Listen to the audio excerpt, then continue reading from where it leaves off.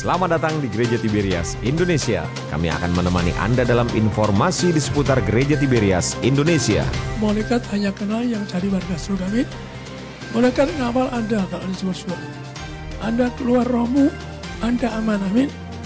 Lebih Anda terima minyak dan anggur, amin. Ada minyak anggur Anda dikenal malaikat, amin. Maka pembesar teriak meraung, diinjek setan, dipermainkan so. Seperti anak kecil, kecil-kecil setan, saya nangis.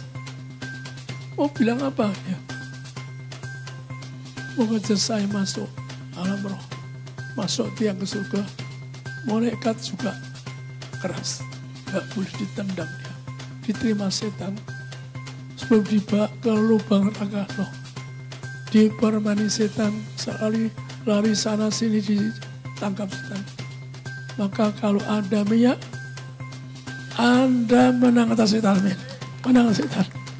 Kenapa? Karena saya waktu di situ kembalikan kuasa harapan. Di saya balik kembali kuasa harapan. Maka malamnya so, setan-setan berlutut kaki saya, Pak Bis jangan siksa. Jadi kalau ada yang saya setannya satu, ada minyak harapan. Kalau ada minyak harapan, setan lari amin. Setan dibakar dunia ini. Tugas sang pemimpin harapan Tuhan katakan bangkit orang mati, ngusir setan, bakar setan. Termasuk berkati Anda, muliakan Anda. Anda mulia minyaknya, kenapa? Anda setetes minyak. Setan takut pada Anda.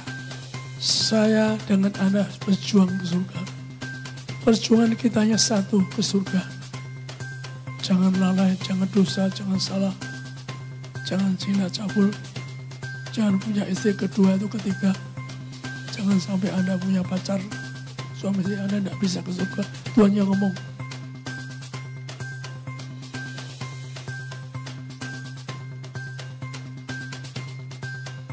Saya tidak pernah mengenal Yesus yang saya tahu hanya Nabi Isa yang saya tahu. Saya kecil dulu eh, di sebuah kota kecil, saya sering mengintip anak sekolah minggu, Pak. Sekolah minggu, ya sudah saya pikir ini hanya anak kecil yang masih kecil dulu kemudian pas kemudian ayah saya pindah ke Jakarta saya uh, di SMP itu saya udah SMP ada tetangga kami uh, mau beribadah ke Taman Mini gereja, uh, di sebuah gereja di Taman Mini saya ikut karena kalau orang Nasrani kok hidupnya saya lihat kok bagus saya ini sama kita penuh kasih sayang kita selalu memberikan ramah. Saya coba, saya ikut ke sana. Tapi dengan pasti mencuri-curi kan, nggak mungkin saya bisa ikut ibadah. Kemudian akhirnya saya ibadah dengan diam-diam tanpa sepengetahuan orang tua saya.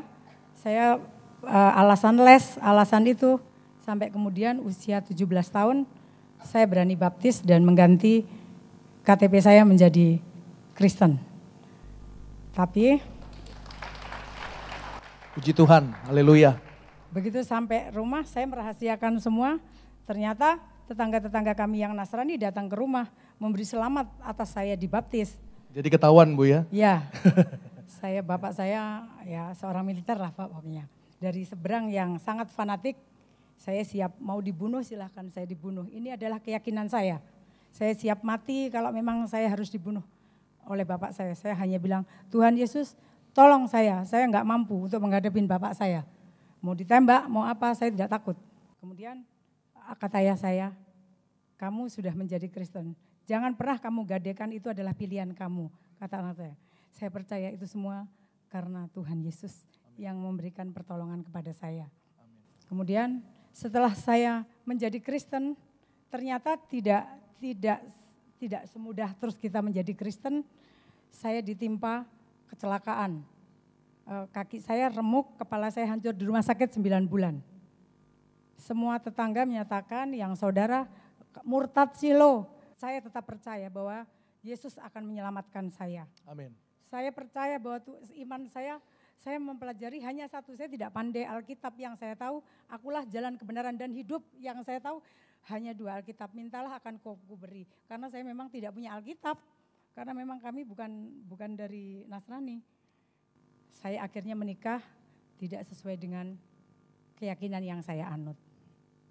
Kemudian uh, saya punya anak, dicoba saya, tapi saya tetap percaya bahwa saya tetap keyakinan bahwa saya adalah Kristen. Saya tetap percaya bahwa Yesus adalah Tuhanku. Amin. Saya percaya itu semuanya anak saya. Saya di, dicoba dengan anak saya sakit mulai dari lahir Pak. Sampai tumor parotis, kemudian patah tulang, kemudian uh, itu sampai yang tipes itu tidak pernah berhenti.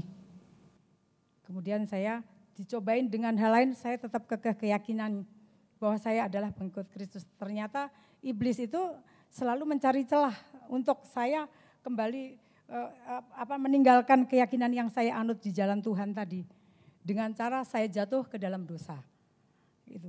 Semuanya setelah saya jatuh ke dalam dosa, saya Kristen. Saya pikir kalau udah jadi Kristen saya baik, saya berbuat baik kepada orang, sudah selesai. Ternyata saya tidak tahu karena tidak ada yang membimbing saya.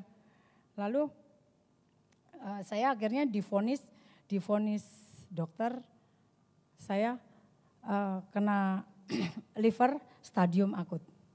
Saya di rumah sakit, keluar masuk rumah sakit, sudah saya sudah apa namanya sudah saya serahkan. Ya udahlah saya nggak mau berobat lagi. Saya tahu ini gereja apa. Saya tempat ibadah rumah saya di Bekasi. Rumah saya di Bekasi saya kan nggak mungkin kalau saya Kristen kan nggak mungkin ibadah di sini. Yeah. ternyata Tuhan akhirnya saya datang ke sini. Pertama kali saya datang, uh, saya dengar Bapak, saya baru tahu ternyata saya baru tahu bahwa saya pernah dengar Bapak Pariaji adalah gembala apa pendeta besar gitu, tapi saya tidak tahu beliau di mana, saya tidak tahu. Ternyata pas saya di sini, loh pendetanya Pak Pariaji, saya masih ingat uh, harus suci berpikir, berkata dan berbuat. Uh, jangan jinah cabul, akan terlempar dari kerajaan surga. Itu yang saya tahu. Saya mau minta bimbingan siapa? Akhirnya saya datang di tempat ini saya duduk yang paling belakang itu Pak di sana. Itu tahun 2013. Ya. Tahun 2013 saya datang ke gereja ini dengan vonis profesor menyatakan saya tinggal berapa bulan lagi.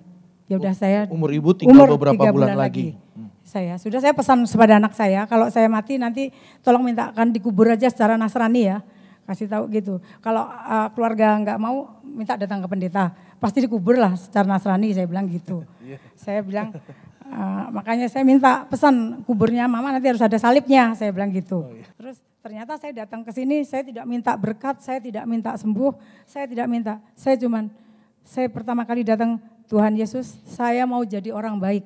Saya pengen jadi orang benar. Saya percaya Tuhan. Saya dapat ilmu lagi satu Hidup dalam Kristus, mati adalah keuntungan. Kalau emang dipanggil Tuhan dalam Kristus, saya siap. Saya bilang gitu saat itu. Bahkan akhirnya anak saya pun diuji juga. Yang tidak hanya saya, supaya saya kembali ke seberang. Tapi Tuhan ternyata pergumulan kami tidak selesai di sini semua.